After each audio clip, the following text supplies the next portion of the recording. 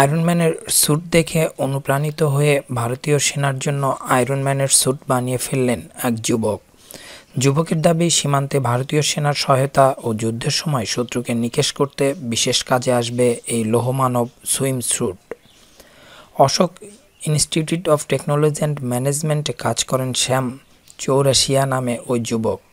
তিনি জানান, এটি একটি ধাতব স্যুট শত্রুদের সঙ্গে এনকাউন্টারের সময় এটা ভারতীয় সৈন্যদের সাহায্য করবে।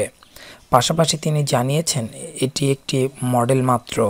যুদ্ধের সময় এটি ভারতীয় সেনাকে সাহায্য করবে বলেও সোমবার উল্লেখ করেন তিনি।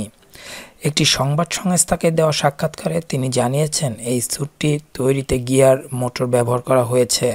যাতে এটি রিমোটের সাহায্যে ব্যবহার করা যায়, তাই মোবাইল কানেকশনও ব্যবহার করা হয়েছে। পাশাপাশি এটির সঙ্গে যুক্ত থাকছে সেন্সরও। ফলে যদি পিছন থেকে শত্রু আক্রমণ করে, তাও রক্ষা পেতে পারবেন জওয়ানরা। এই মডেলটি আপাতত টিনের তৈরি। কিন্তু শ্যাম টাকা সংগ্রহ করে উন্নতভাবে এই বর্মটি বানাতে বদ্ধপরিকর। শ্যাম চৌরাশিয়া জানিয়েছে, দেশের শত্রুদের থেকে সেনাবাহিনীকে রক্ষা করতে এটি অত্যন্ত কার্যকর হবে। একই সঙ্গে সেনাবাহিনীর জীবনের ঝুঁকি কমাবে। শ্যাম জানিয়েছে, আমি ডিআরডিওর মতো সরকারি সংস্থাকে অনুরোধ করছি, তারা এই মডেলটা দেখুক এবং সৈন্যদের সহায়তা করতে এই বর্মটি আরও বেশি করে বানানোর ব্যবস্থা করুক।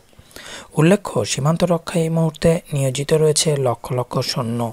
এদের মধ্যে কাশ্মীর সীমান্তে রয়েছে প্রচুর পরিমাণে জওয়ান। ভূস্বর্গেই এর মধ্যে রয়েছে বহু সেনা।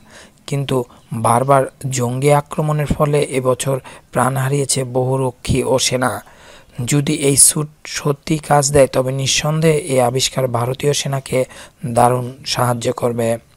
আমার এই চ্যানেল হতে আপনারা যদি আরও ডিফেন্স নিউজ পেতে চান, তাহলে অবশ্যই সাবস্ক্রাইব করুন এবং নোটিফিকেশন বাটন অন করুন। ধন্যবাদ সবাইকে।